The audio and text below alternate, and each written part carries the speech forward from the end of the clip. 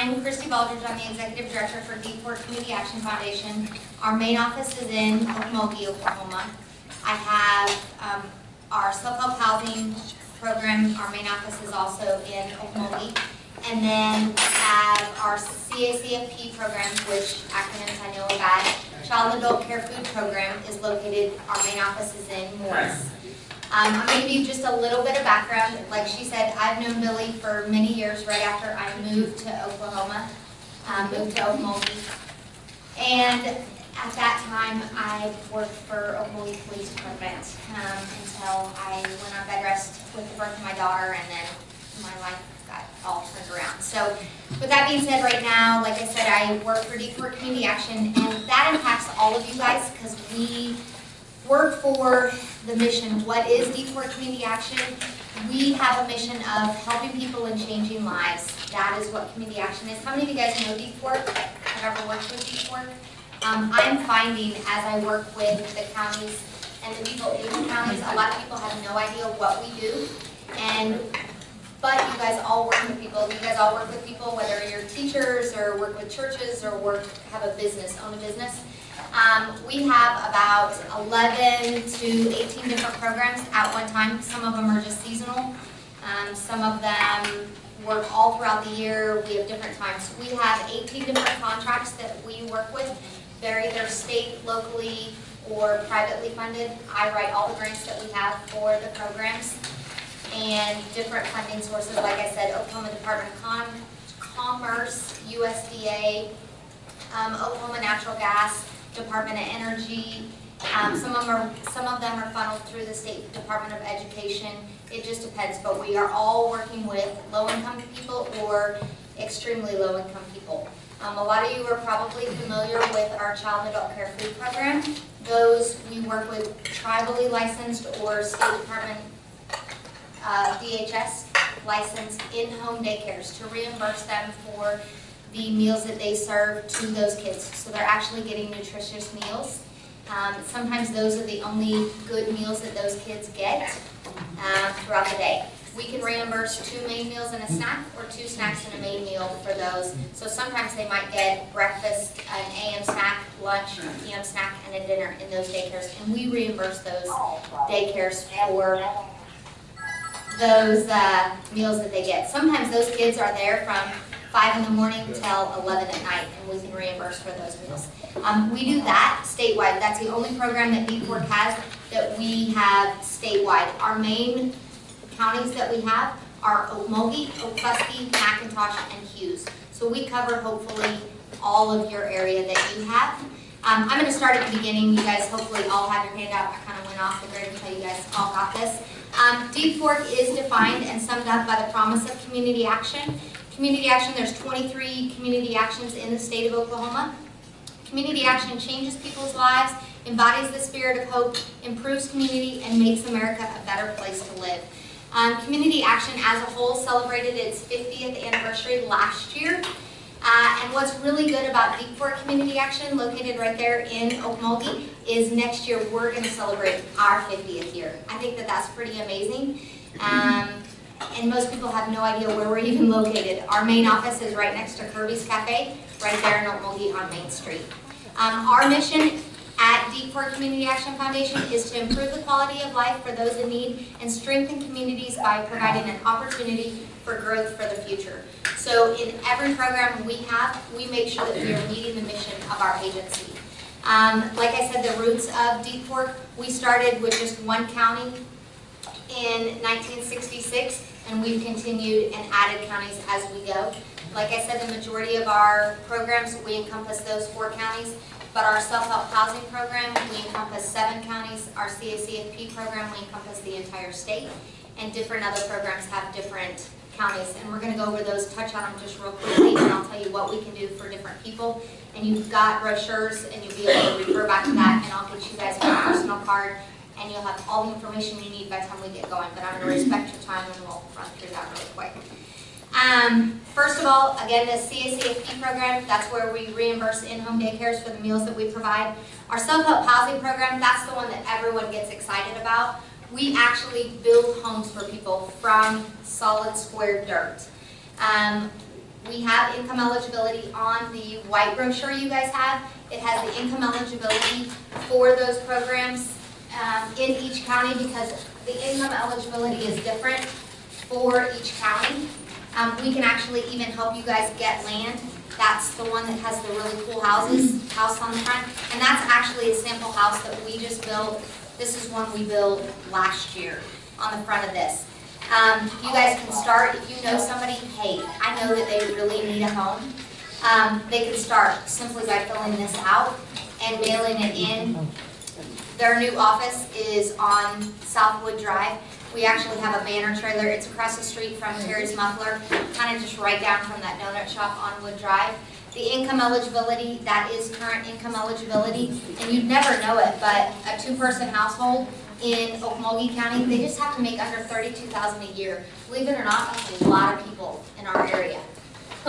So, the unique thing about this is it's a um, interest rate. Right now, it ranges between one and three percent. That's a really low interest rate.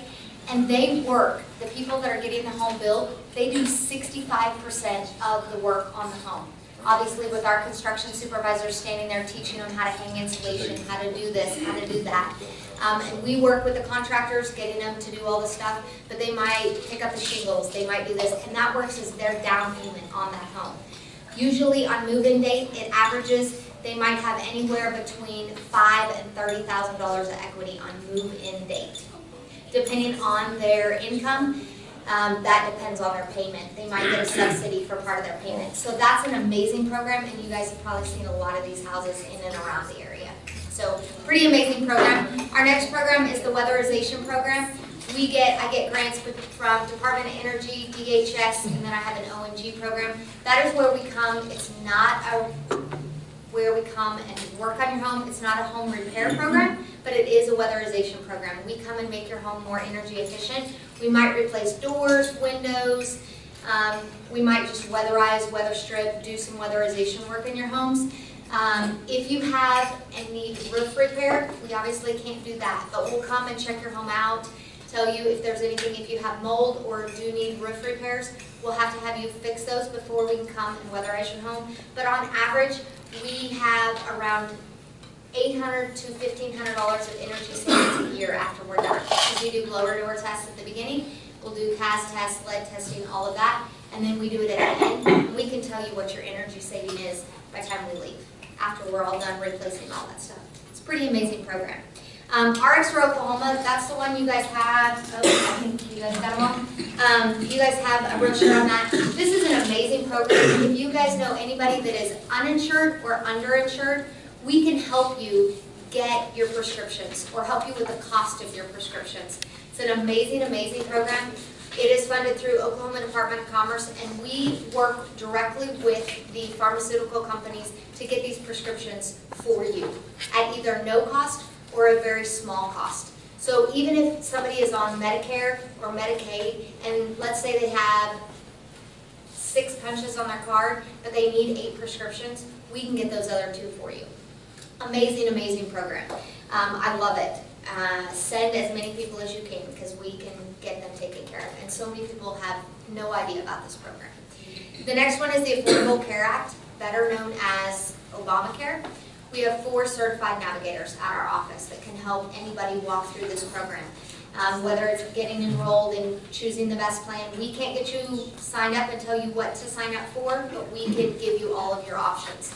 We also will help you through Insure Oklahoma and every single option you have available as far as insurance. So all you have to do is call, make an appointment, and we will walk through it. We've seen some people fall through the cracks, I'll be honest with you, and we've seen some people get on amazing plans. So, uh, summer food program. I think somebody was talking about somebody not being able to be there. I think through the Methodist Church, I think they, here in Henryetta, you guys have six feeding sites. This is a great program in the summer, just because school and learning ends at the end of the year. It, feeding shouldn't have to end with the school year either. Um, a lot of kids have no availability for a hot meal when the school year ends, and so that is something in we also offer. I think it's amazing. Henryetta has partnered with um, Feed the Children to have those sites. I think, I think they have six sites between Henryetta Housing and all the sites, because we try to pass that information. We have a flyer up at our office for people in Henryetta, and Dewar, I think, has Eagle Heights and. Um, we just have the one site for the summer feeding program. We do it all through the month of June until July thirty-first, and ours is at Okmulgee Middle School. And it is available for an hour and a half. Anybody ages zero to eighteen can come get a hot meal for free. It's amazing. We we partner with um, multicultural programs, so we also have um, exercise program and craft program, so they have more to do besides just come get a hot meal. Uh, we have social services. This is a huge encompassing program we do a lot with. We have an air conditioning and fan program. We help people with deposits and utility bills and um, a number of things, our food pantry. We are kind of like the clearinghouse for all the churches in our area, as well as a couple of the churches down here in Endure. So people don't, I hate to say it any other better way besides work the system. They make them come through us to get the referral to be able to go to the churches. And so people, they have to go, they can only get services so many times a year. If they get to the second time, then they have to go to budgeting classes, nutrition classes, which we also offer at our office. And then they can get their services, but not going through there, they have to learn to budget their money. So amazing things, and I also have grants to where we can help those. Um, I've also applied for emergency solutions grant to help people from either homelessness or close to homelessness get close to self-sufficiency, and they have to go through amazing courses to get from point A to point B. They can't just, okay, yes, let me pay your bill for you. So that's a big encompassing, it says social services, but there's a lot of aspects with that. Um, homebuyer education and homebuyer assistance, we have some grants through OFA. Currently, we don't have any funds, but um, we do get grants to where we can help with down payment assistance. They must go through homebuyer education courses, and we still offer that for several banks um, around, and as well as our self-help housing. They go through a homebuyer education course. We are a certified CHDO agency, so they go through that to make sure that they're not just jumping into buying a house, but they don't know to keep their debt ratio. It's, it's a long course. Um, It's an eight-course curriculum that they go through so they can get that home. Pretty amazing thing. We also have tax credit properties through Oklahoma Housing Finance. So that's an all-encompassing, helping people so they don't get in over their head, they don't buy a house and then they go buy a new car and they get there to help people keep their credit score up. Um, fingerprinting, this is something that new that we've offered. We did it just to try to keep our revenue up um, when I took over the agency. Some new guidelines that the state has offered, anybody who works with elderly or children have to have not only just a background check, but they have to have a background check with fingerprints. So they can't just go commit a crime here and then let's go to another state and start a new identity.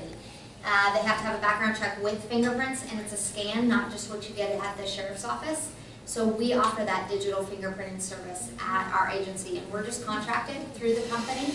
So they do all of our scheduling, they do everything, we just actually perform the fingerprinting for Department of Human Services, um, State Department of Education, Board of Nursing, um, there's like six agencies that we do that for. Yes, we do, we do all of those. So, and anybody for concealed carry, et cetera. Um, last but not least, we do the VITA income tax preparation. We are certified through the IRS to do taxes for people, anyone who makes sixty thousand or less. We file the taxes and submit them free of charge to the state and federal your taxes. Kind of an amazing program that most under sixty thousand was the guideline. Last year, it was fifty-eight thousand, this year they bumped it up to sixty thousand. And we fi, we e-file them for free for anyone. So, uh, we do not do itemized returns, but anyone who can do a short form, we do that for free. Pretty amazing program. Um, and then we go into the individual ones. The CACFP, um, again, we cover the whole state. You've got the guidelines for the self-help housing. That one covers seven counties. Um, Okmulgee Creek, Okfuskee, Hughes, McIntosh, Muskogee, and Wagoner is those to get the self-help housing built. Um, the weatherization, if you look on that slide, it gives you your income guidelines for the weatherization to have your home weatherized. Um, the family size that gives you our income guidelines for the RX for Oklahoma.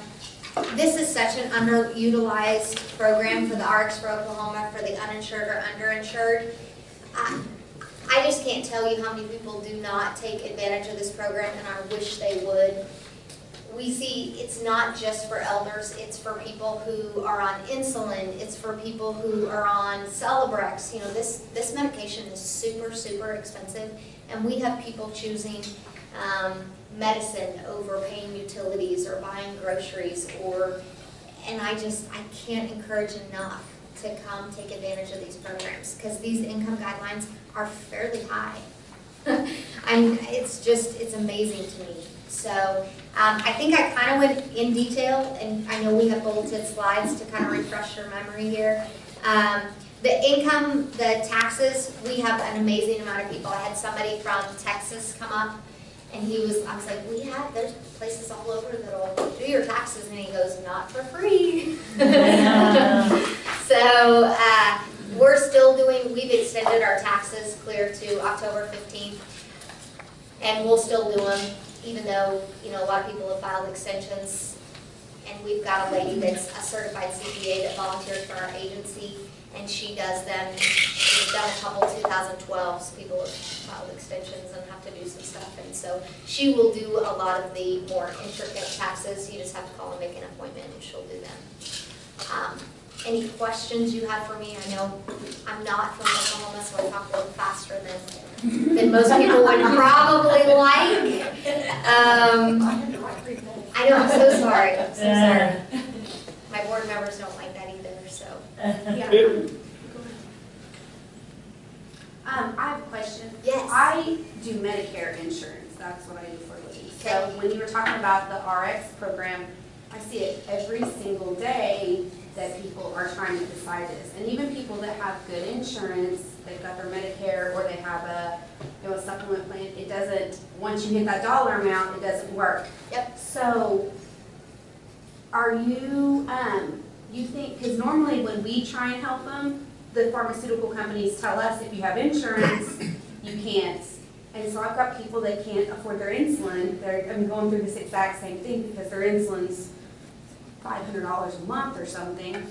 Um, you still think that you guys can help, uh, A lot of times we have. That's why my RX coordinator works directly with doctor offices, doctors' offices and hospitals to try to get that covered. because I thought it's kind of, um, breaks my heart, I mean, just, If you'll give me your card, I will give it to my RX person and she can coordinate with you and we'll see what we can do to help. perfect. Awesome. We used to have an office in Henryetta. It was down on, uh, between Sixth and Seventh on the south side of Oak. And back then, I, I, with the Lions Club, we have an eyeglass program, a vision health program. And we've always done uh, children. And, and, but for years, Deep Fork Community Action had a certain amount of discretionary funds. And if we had an adult come to us for eyeglasses, I could sit them down there and they'd get some help. And then that just dried up. So I was wondering if Deep Fork, are all your funds discretionary, or do you have some undiscretionary?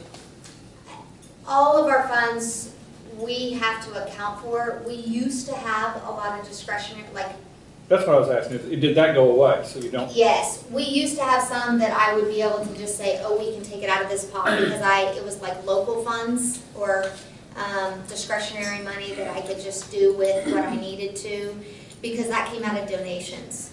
Um, With the economy the way it is, um, I think that's why those donations just ceased probably. Um, We have very little. And we do get donations that come in, but they want it to go towards their county and towards emergency assistance, towards rent and utilities. So a lot of people will earmark what they want their donations to go for. Um, We used to have, under previous administration, they would have fundraisers. But I found when I took over and I did audits, I, you know, we had a pretty in-depth um, and our funding sources came in, if we were not allowed to pay the staff to do those fundraisers during business hours. So I had to take all of that time and pay all of that out of those discretionary funds and pay it back to those grants. And so that's what took up a lot of that discretionary funds. And so where we are today, those discretionary funds, they're usually earmarked. And so I, that is one problem that I have, is I get a lot of calls. I can't tell you how many calls I get for eyeglasses. And I have no resources for them. Okay, okay, I can, just individuals? We write a couple grants, like Service League gives us funds, um, and we write one to East Central, and we do fans and air conditioners, because when we do a, we do a community needs assessment every two years, we're required. And we come up with the needs that we have in our communities and that we have no funds for.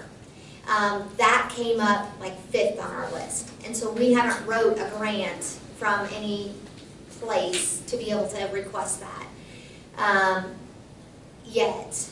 If it, if it moves up higher, but we keep track of how many we have per year, like every, we have call logs and we keep track of every request and every person. Plus, we keep everything in a database called Captain. And so we've used a lot of our funds and we know where everything goes to. Um, but that would be something we just haven't been able to do, and we Okay, you use emergency services.